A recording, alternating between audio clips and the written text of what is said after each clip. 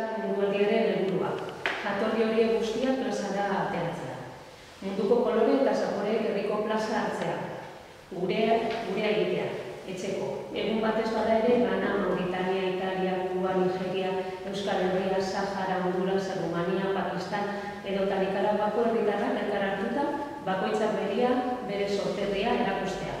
Arrotasunez, eta alba da, galako jantziekin, okaziorako jantzita.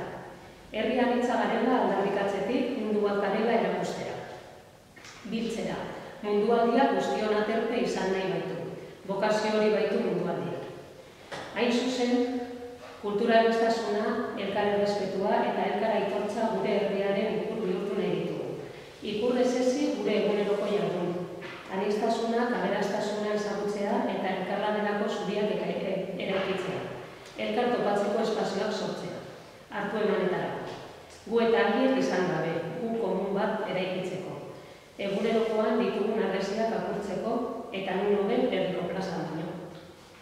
Izan ere ez dugu astu behar gurera etorri diren etorkinak, bizitza berri bati ekin nahi dioten gizabanakoak direla. Pertsona horiek iragana dute kultura bat, hizkuntza bat eta erlijio bat. Eta ez dute zertan abandonatu. Hain zuzen mundualdiak herriko plazan zer diren erakusteko aukera eskaintzen die. Gainerako usurbil darro ezagut.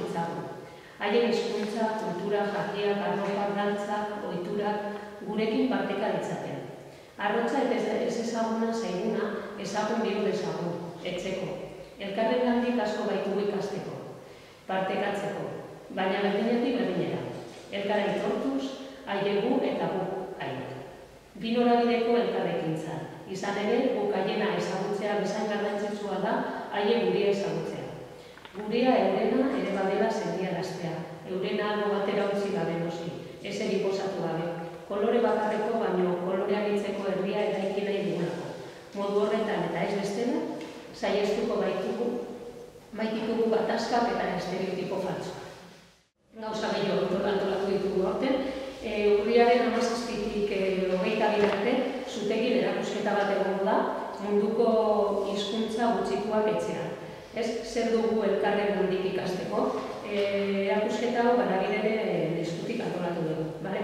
Gero, urriak amazazpien izango dugu itzaldi bat, e, zutegin, zutegin bertan, osea, e, goikaldean, e, zutegiko erakusta, e, erakustaretoan, eta itzaldia, itzaldia izango da gaurko migrazio mugimendua, xenofobia eta elkartasuna.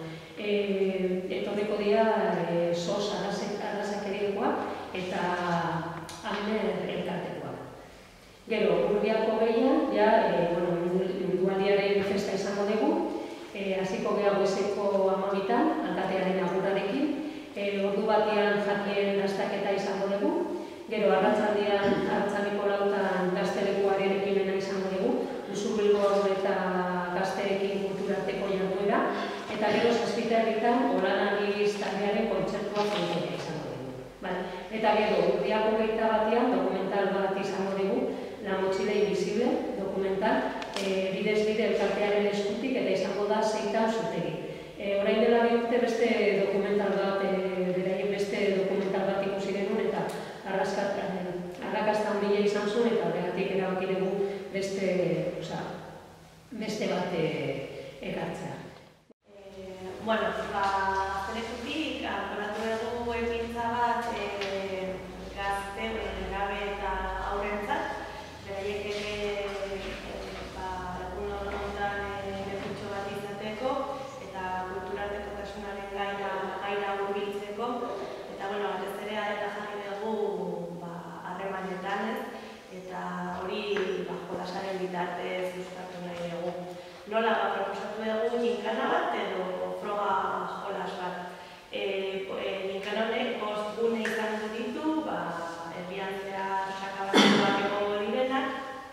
eta gune hauek e, zer ikusia dute ba, kulturarteko, kulturartekotasuna ba, gugan, ba, kulturartekotasuneko kontzeptuak eta gugan kulturartekotasunak sortu ditzazkeen emozioekin.